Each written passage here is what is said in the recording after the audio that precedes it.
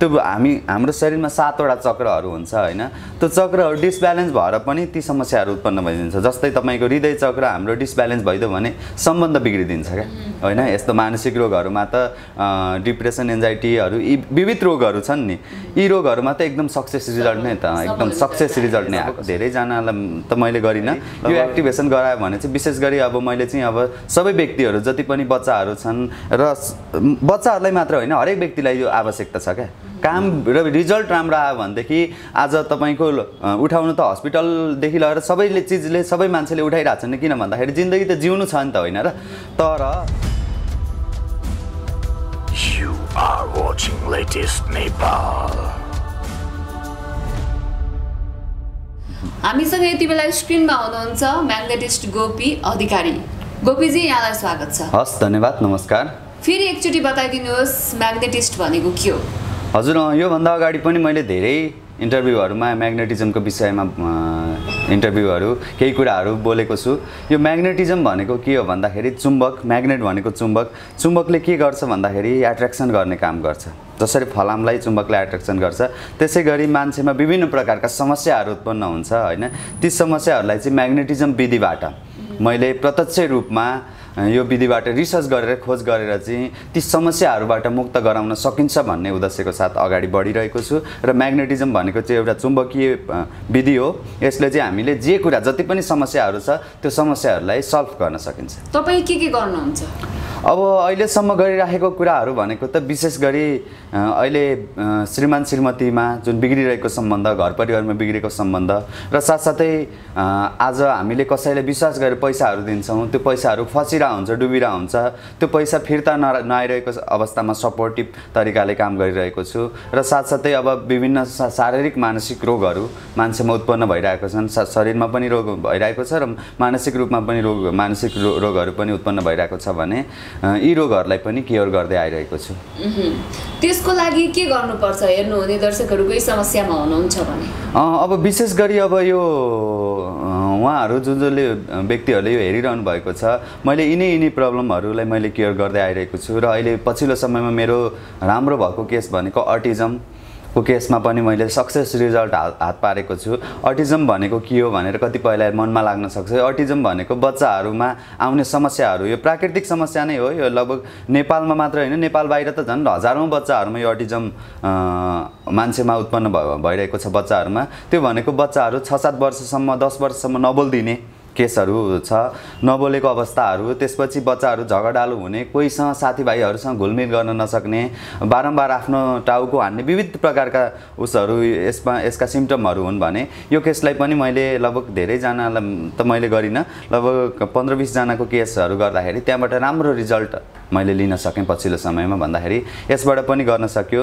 र अब जस्तै मैले अघि नै पनि भने फसेको पैसाहरूमा पनि लगभग हामी मैले पचास साठीजनाभन्दा बेसी व्यक्तिहरू लगभग को मैले गरेँ। गरिसकेपछि त्यो पनि तपाईँको एकदम राम्रो भयो। होइन? र अब सबै शत प्रतिशत काम हुन्छ त भन्न सकिँदैन। कतिपय हाम्रो पूर्वजन्मका कार्मिक इस्युहरू आएको हुन्छ।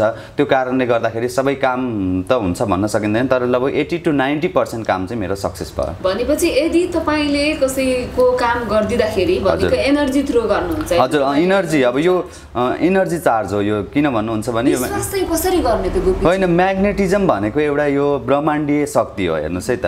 किन भन्नुहुन्छ भन्दाखेरि हिजो यो संसारमा हामी बसेका छौँ यो ब्रह्माण्डमा बसेका छौँ भने यो ब्रह्माण्डकै ऊर्जा लिएर हामी बसिरहेछौँ भन्दाखेरि त्यो हामी हाम्रो शरीरमा सातवटा चक्रहरू हुन्छ होइन त्यो चक्रहरू डिसब्यालेन्स भएर पनि ती समस्याहरू उत्पन्न भइदिन्छ। जस्तै तपाईँको हृदय चक्र हाम्रो डिसब्यालेन्स भइदियो भने सम्बन्ध बिग्रिदिन्छ क्या होइन?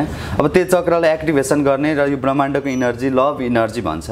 त्यो लभ इनर्जी उसको शरीरमा प्रभाव गरिदियो भनेदेखि के हुन्छ भन्दाखेरि विशेष गरी त्यो श्रीमान श्रीमतीको सम्बन्धहरू सुधार हुन्छ होइन? अब फसेको पैसाहरूको केसमा पनि त्यस्तै छ होइन? एक आपस बिच त्यो इनर्जी डिसब्यालेन्स भएर त्यो पैसा दिन नमानिरहेको अवस्था हुन्छ। अब फसेको पैसा मैले उठाएर दिने भन्ने पनि हुन्न क्या त्यसमा। के हुन्छ भन्दाखेरि त्यो पैसा जुन व्यक्तिले खाइरहेको छ त्यो खाएको व्यक्तिलाई चाहिँ मैले इनर्जी चार्ज गर्छु यो ब्रह्माण्डीय शक्ति चार्ज गर्छु।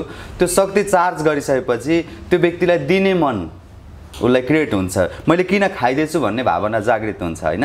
यस्तै यस्तै समस्याहरू छन् र मैले चक्र हिडिङ चक्र हिडिङ चक्र हिलिङ भनेको के हो? चक्र भनेको के हो भन्दाखेरि मान्छेहरूमा आफ्नो चक्रको आफ्नै विशेषता हुन्छ नि त। जस्तै अब तपाईँको विशुद्धि चक्रमा जुन कन्फिडेन्ट पावर कम भइदिन्छ मान्छेमा समाजमा गएर बोल्न नसक्ने जस्तै मणिपुर चक्र लुज भयो भने व्यापार व्यवसाय गरिरहेछ करोडौँ लगानी गरिरहेछ एक्जाम्पलको लागि। भने त्यो त्यही अगाडि तपाईँको पा पाँच सात लाख लगानी गरेको व्यवसाय पनि चलिरहेछ।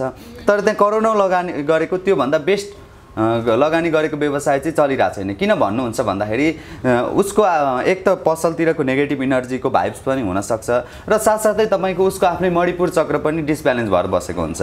र मान्छे जति प्रयास गर्दा पनि प्रयास नगरी त सक्सेस हुँदैन तर जति प्रयास लगभग दसौँ वर्षदेखि प्रयास गर्दा पनि मान्छे उठिरहेको अवस्था हुँदैन होइन? त्यो अवस्थामा त्यो चक्रलाई जागृत गराइदियो भने र मनी इनर्जीहरू हुन्छ त्यो मनीको इनर्जी उसको शरीरमा प्रभाव गराइदियो भने चाहिँ त्यो व्यक्ति अटोमेटिकली के हुन्छ भन्दाखेरि त्यो जागृत हुन्छ र त्यो व्यक्तिमा बिस्तारै बिस्तारै सुधारहरू हुन थाल्छ। त्यस्तो केसहरू पनि मैले गरिरहेको छु। र यसमा मैले विशेष ट्रेनिङहरू राखेको छु होइन?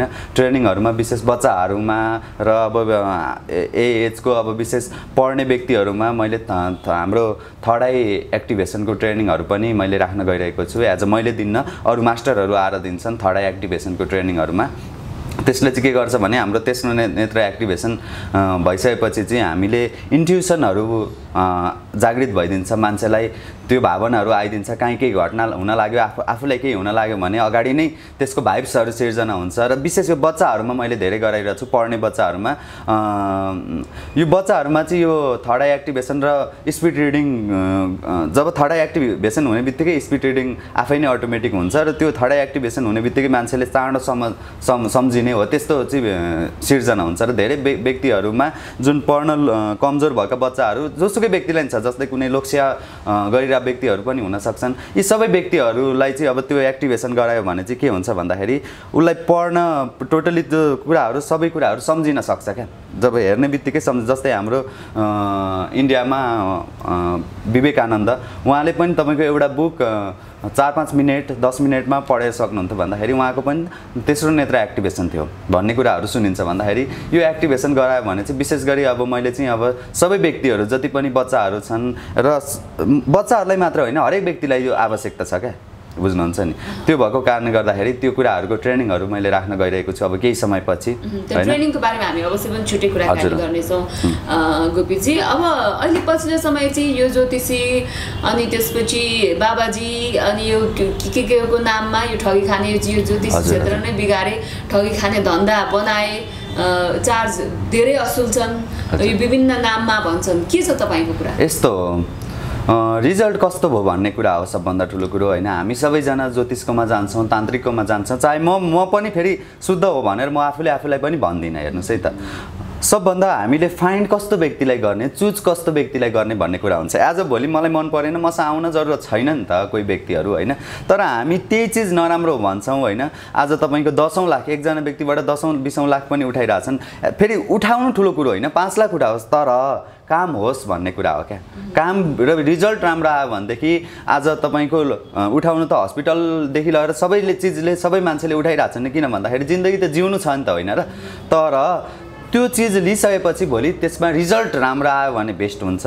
तर रिजल्ट आएन भने त्यसको सबभन्दा फरक प्रभाव पर्छ जस्तो मलाई लाग्छ होइन? अब कतिपय कुराहरू जब इनर्जी हिलिङको कुराहरूमा सामानहरू लिनुपर्ने हुन्छ होइन? विविध कुराहरू हुनुपर्ने भएको कारणले गर्दा केही चार्ज त लाग्छ नै किन भन्दाखेरि चार्ज बिना त केही पनि हुँदैन। भनेपछि काम भएन भने तपाईँ पैसा फिर्ता गर्न सक्नुहुन्छ। यस्तो हो। मैले सुरुमा पैसै लिन्न सामानको मात्र लिन्छु मैले। सुरुमा सामानको लागि यति लाग्छ भनेर मैले सुरुमा अहिलेसम्म लिएको भनेको त्यही हो। जब अनि जब रिजल्ट भइसकेपछि पैसा दिनु भनेर मैले भनिरहेको हुन्छु प्र- प्राय म्याक्सिमम् व्यक्तिहरूलाई।